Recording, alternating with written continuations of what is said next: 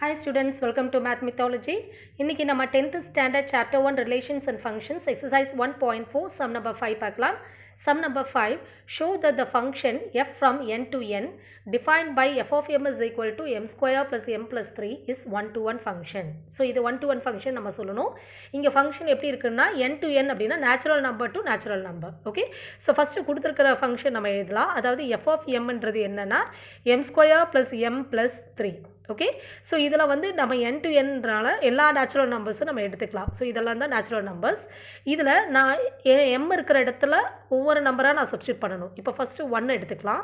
அப்போ என்ன கிடைக்கும்? நமக்கு F of one is equal to M இருக்கிற இடத்துல ஒன் போட்டால் one square plus one plus த்ரீன்னு வரும். So one square is one then one plus three is four so one plus four again five then அடுத்தது two போட்டோன்னா என்ன வரும் நமக்கு?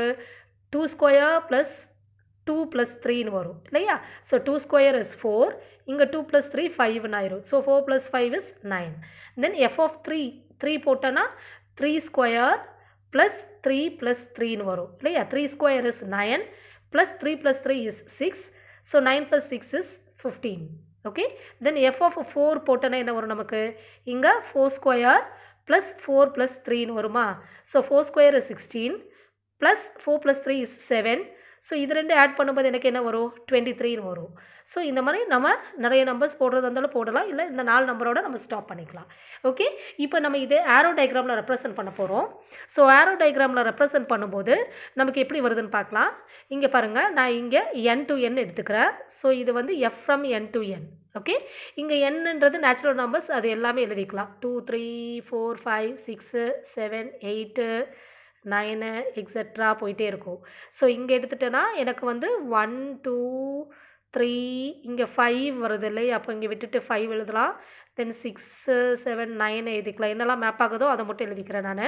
ஏன்னா இங்கே இடம் பத்தாது. ஸோ ஃபிஃப்டீன் அப்புறம் இங்கே டுவெண்ட்டி த்ரீ வருது எக்ஸட்ரா டுவெண்ட்டி நைன் எக்ஸட்ரா இப்படி போகும்னு வச்சுக்கோங்க. இப்படி இருக்குது நம்பர்ஸு அப்போ நம்ம இதை மேப்பிங் பண்ண போகிறோம் அதாவது இங்கே ஒன்று ஃபைவ் இல்லையா? ஸோ ஒன் வந்து நேராக எங்கே இருக்குது ஃபைவ்க்கு நேராக ஆரோ போடணும். தென் டூக்கு என்ன ஆன்சர் கிடச்சிருக்கு? நைனு ஸோ டூ வந்து நைனுக்கு தென் த்ரீ வந்து ஃபிஃப்டீனுக்கு இல்லையா? ஸோ த்ரீ வந்து ஃபிஃப்டீனுக்கு ஃபோர் வந்து டுவெண்ட்டி த்ரீக்கு ஸோ ஃபோர் வந்து டுவெண்ட்டி த்ரீக்கு ஸோ இந்த மாதிரி போயிட்டே இருக்கும் இல்லையா? அப்போ இங்கே பாருங்கள் எப்படி இருக்குது இது வந்து இந்த ஃபஸ்ட்டு நம்பர் நம்ம டொமைன் சொல்லுவோம். இது ரெண்டாவது வந்து கோடொமைன் சொல்லுவோம் இல்லையா? ஸோ இப்போ எப்படி இருக்குது ஆல் எலிமெண்ட்ஸ் இன் டொமைன் இல்லையா? எழுதும்போது எப்படி எழுதணும்?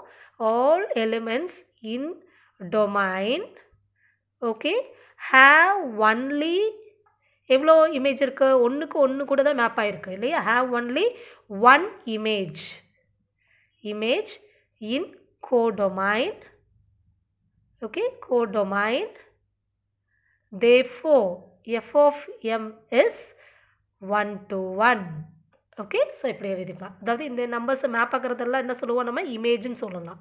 இல்லையா? ஸோ இதுதான் நம்மளுடையது. எல்லா எலிமெண்ட்ஸும் இந்த டொமைனில் இருக்கிற எலிமெண்ட்ஸுக்கு ஒவ்வொரு இமேஜ் தான் இருக்குது இந்த கோ டொமைனில் இருக்கிற எலிமெண்ட்ஸுக்கு ஒவ்வொரு இமேஜ் தான் இருக்குது ஸோ அதனால் இந்த கொடுத்துருக்குற ஃபங்க்ஷன் வந்து one to one okay so இதுதான் நம்மளுடைய ஆன்சர் ஓகே தேங்க்யூ பாய்